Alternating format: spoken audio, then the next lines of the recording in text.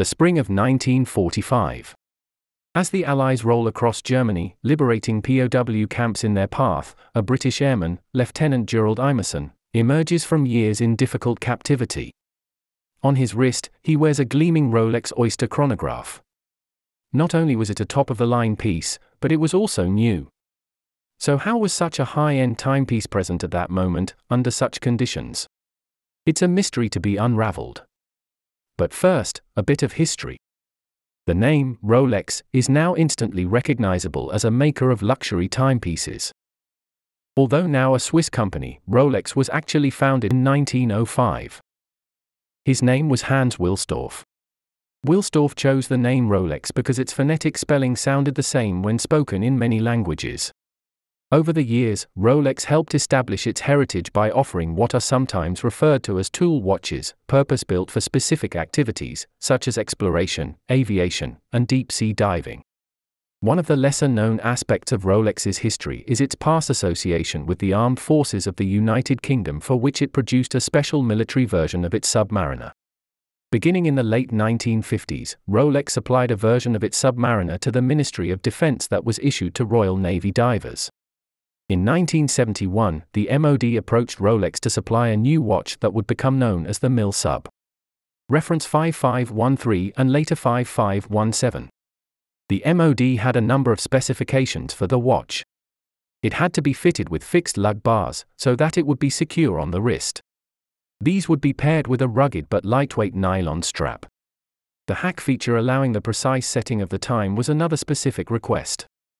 Furthermore, the model would have a unique bezel with 60 minute marks all the way round.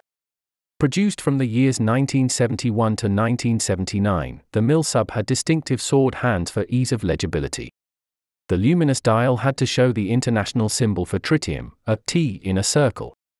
Only about 1200 Milsubs were issued during the entire nine year run. Of these, only an estimated 180 are thought to still exist to this day. This extreme rarity makes the Milsub among the most sought after models by collectors. The watches were often kept by servicemen and later handed down to their heirs. Many examples have been modified or altered with service parts. An all original example has become one of the holy grails of Rolex collectors. They are typically found with a creamy yellow patina on the dial and can sell for well into the six figures depending on condition. One of the finest examples was sold in 2019 by Phillips. It even came with its owner's original dive log and diver's knife. It sold for more than 218,000 US dollars. But long before the 1970s era Milsub, Rolex had a much earlier history with the armed forces. During the Second World War, Wilsdorf looked for ways to support the war effort against the Axis powers. The early years of the war for Britain were quite grave. Most international trade had been disrupted, and a total mobilization meant most regular commerce was not possible. Beginning in 1939, he offered his Rolex watches to officers of the armed forces that could be purchased on credit. The generous terms allowed many officers, who would otherwise not have been able to afford the timepieces, to purchase them on a modest wartime salary. Many RAF pilots took Wilsdorf up on his offer and placed orders for a variety of different Rolex models. In addition to their regular military issued watches, a few of these personal Rolexes would sometimes accompany the airmen on missions, including fighter engagements during the Battle of Britain. The watches were also worn on long range bombing runs over Nazi Germany. An accurate timepiece was useful when navigating, knowing when over a target, and for estimating fuel range. Inevitably, pilots would be shot down over enemy territory and be taken prisoner. Flight Lieutenant Gerald Imeson was captured by the Germans after his Vickers Wellington bomber made an emergency landing just off the coast of Belgium. Lieutenant Imeson did not yet own a Rolex when his mission was aborted over the North Sea. But soon, he would. The Germans would send prisoners to specific camps where they were to wait out the duration of the war. Lieutenant Imeson, like many airmen, was sent to Stalag Luft 3, located in Silesia, what is now Poland. Stalag Luft 3 was made famous by a meticulously planned mass breakout, later depicted in the 1963 film The Great Escape, directed by John Sturges. Inside the camps, military issued watches were often seized by camp leaders for fear they might contain a compass or something particularly useful for escape.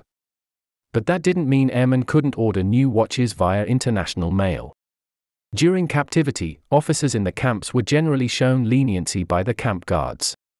So much so, that there was a gentleman's agreement that airmen could receive care packages and other international mail. Care packages containing food and other items were facilitated by the International Committee of the Red Cross, via their headquarters in Geneva. Red Cross packages were a lifeline to officers in captivity, and provided all manner of the tastes of home.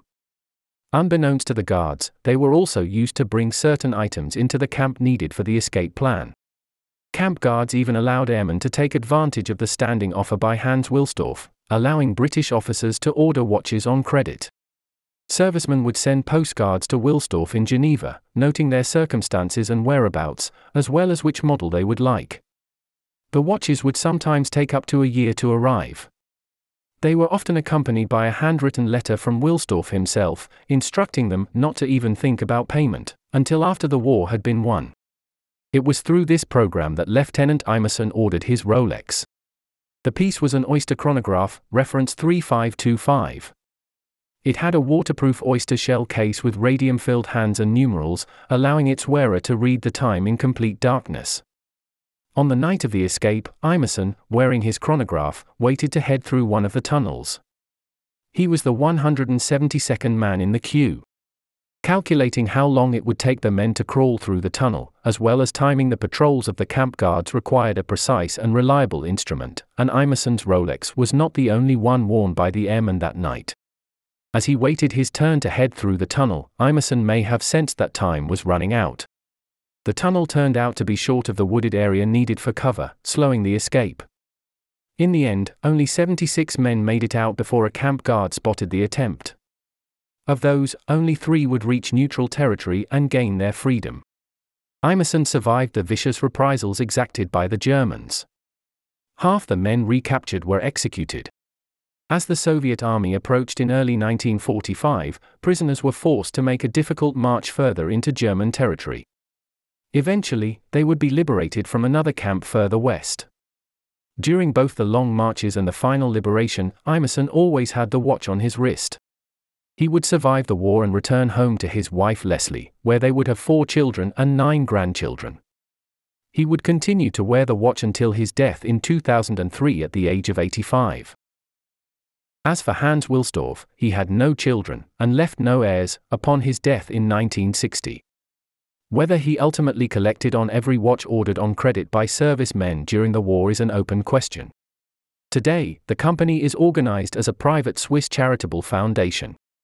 It has no legal requirement, under Swiss law, to disclose financial performance or its donations. If you would like more short histories like this one, please hit the like button to let us know. And be sure to subscribe to our channel so you won't miss further episodes. Thanks for watching.